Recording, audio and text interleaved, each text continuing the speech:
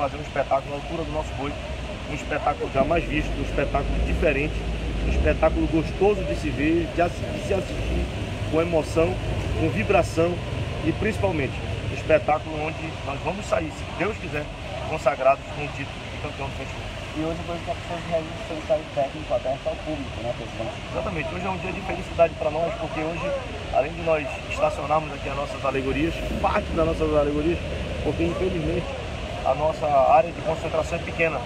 Né? Nós não temos uma área grande de concentração, então nós não vamos conseguir trazer todas as nossas alegorias para cá. A gente vai ter que deixar mais da metade das alegorias lá. A gente só vai trazer parte das alegorias da primeira noite para cá. O restante não vai poder vir, porque nós não temos espaço para isso. Mas hoje é uma, além disso, hoje é um dia feliz porque a gente vai poder fazer o nosso set de som. A gente sabe que para muita gente, principalmente para nós parentinenses, hoje é um festival.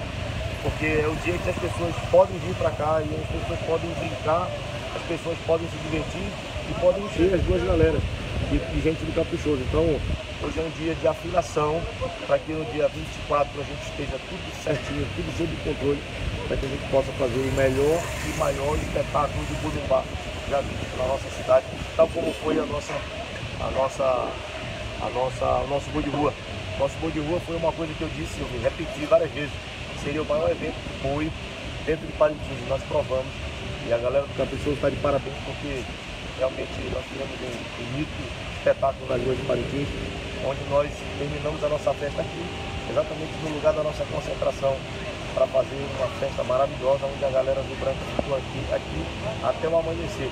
Fazer uma festa, sair duas horas da manhã do curral para parar às 6 horas é fácil. Quero ver fazer uma festa saindo 8 horas da noite do curral, terminando 5 horas da manhã. Isso só a galera do Caprichoso faz. Obrigado pelo mandato.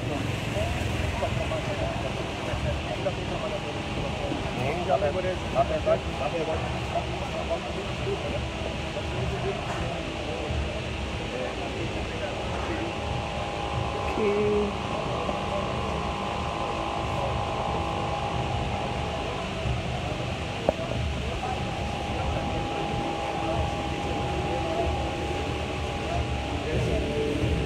fazer o tamanho Gênero está aqui na concentração. pessoas trabalhando lá ainda. Isso não vai parar esse trabalho, esse trabalho vai continuar até a última, a última noite do festival, para que fique tudo dentro do padrão que nós queremos, que é o padrão caprichoso que a gente está acostumado.